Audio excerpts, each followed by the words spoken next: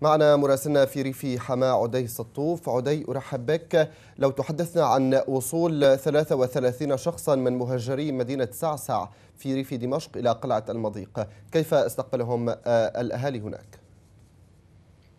نعم السلام عليكم ورحمة الله وبركاته. حياك الله أخي مؤمن.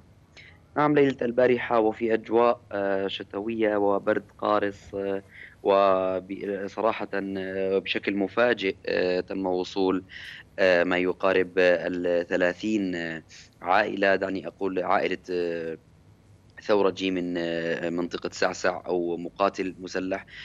عددهم بالإجمال ما يقارب تقريبا ال 35 إلى 40 شخص وصلوا إلى مدينة قلعة المضيق في ريف حماة الغربي لقوا استقبال من قبل المنظمات واستجابة عاجلة من قبل المنظمات الإنسانية والجمعيات الخيرية.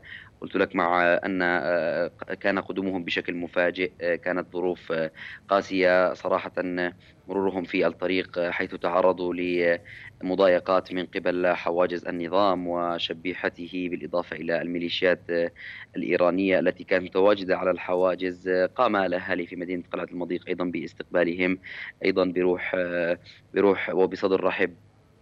آه، قامت أيضا عدد من الجمعيات آه، نخص منها جمعية ساعد الخيرية قامت بنقل عدد كبير من هذه العوائل إلى مراكز الإيواء على الحدود السورية التركية بالإضافة إلى نقل عدد من من المصابين.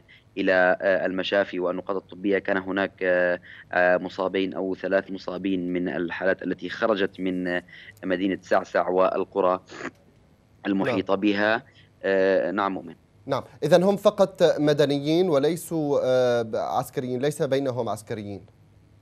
لا مؤمن. يوجد هناك يوجد هناك بعض المقاتلين الذين لم لم يرضخوا للهدنة المبرمة أو دعني أقول لشروط النظام في تلك المنطقة فقرروا الخروج إلى آه، إدلب وإلى آه، مناطق الشمال السوري ليبقوا ضمن آه، آه، الثورة وضمن المقاتلين وضمن الجيش الحر. لم يرضخوا لمطالب قوات النظام وإلى الهدن المبرمة في تلك المنطقة. على تسليم تلك المنطقة والانضمام إلى نعم. آه، الألوية والفرق التي يشكلها النظام في تلك المنطقة. شكرا جزيلا لك مراسل قناة دار الإيمان في ريف حماة عدي سطوفة.